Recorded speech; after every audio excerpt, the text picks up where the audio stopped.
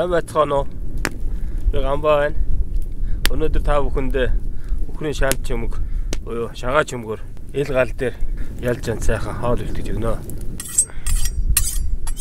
Шаант чимэг бол ерөөсө булчин ах ямар ч холестерингүй өөх тосгүй амуу энд энэ шагаа бол энэ эдгээр шөрөмснүүд нь бол кальцаар маш баялаг. За ингээд шаантыг турган урдам болгохын тулд энэ шүрмс нүүдийг тастаж өгнө.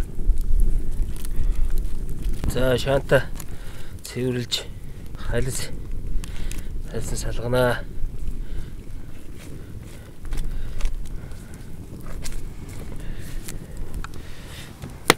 Махаага шүүслэг амттай болгохын тулд буцсан усан дээр хийн. Очоо дээр цэцэгт гонд Аз хоолнд ирэхчлээ өргөн хэрэглэгддэг. Хамтлагч байгалийн цэвэр бүтээгдэхүүн. За энэ бол байгалийн цэвэр нуурын бор давс. Одоо монголчууд өргөн хүнсэндээ хэрэглэдэг. Энэ хоёроор өнөөдрийнхөө шантыг амтлнаа. За ус маань сайхан уцалж байна. Давс.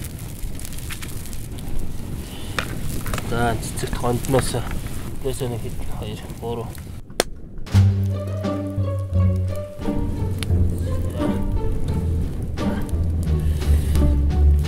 битүү тоглоод. За одоо ингээд шаанта цаг 30 минут чанж болгоно. За чулуугаар опа ичнэ. Чулуугаар цаа чанна. Сайхан зисэйгэнд ус хийсэн байна. Энд би түр чулуу халааж байгаа. Тэгээд чулуугаар хэдүүлээ эртний уламжлалт аянчтай аргаар аяганд сайхан цайж ханж унаа. За энэ сайхан чулуу маань сайхан удаасан байна. Тэгээд ээ ингэ сайхан аяганда цайж ханж унаа. Тэсаараа уцаж байна. За ингэ үргэлжлүүлээд уснаар уцагсаа. Тэгээд энэ Монгол аргаар багтарч хийсэн цайны аяны зориулттай хийц байгаа. Энэ дотор одоо байгалийн зорилттой Монгол хөрний хөрсөн байдаг. За эмээ ургамал нохоо шүү. Цайны бүхтэлтэй харагдаад бүх сайхан багтарч хийсэн байгаа. За ингээд цай маань бүхэн боллоо.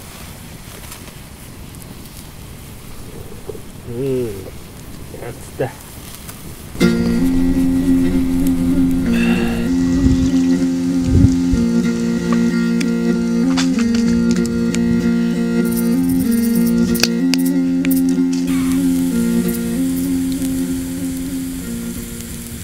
одоо шаанта эргүүлээ 30-аас 40 минут чанагдсан байна. За ингээд туслахлаа ингэж эргүүлж гинэ. За ингээд дахиад нэг хэсэг чанахад шаант басаа болно. Шаантныхаа хажуугаар ногоо хүлээрэн чанж хачир болгон хэрэглэнэ. Луун шар манжин төмсөр саахан чаанта шүлэнд чанж шүдний амд гинэ.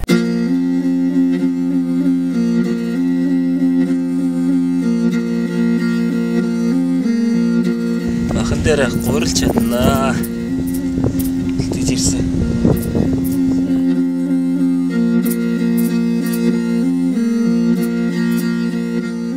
За одоо хоол маань үлэн болжээ.